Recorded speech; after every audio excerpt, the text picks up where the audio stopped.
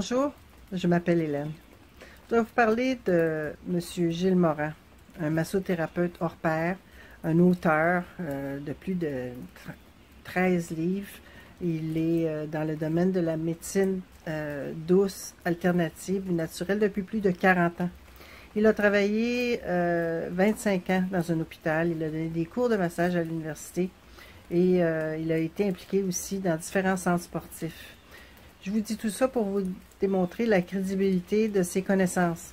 Pour ma part, M. Morin m'a beaucoup soulagé en ce qui concerne le massage thérapeutique. Je vous le recommande.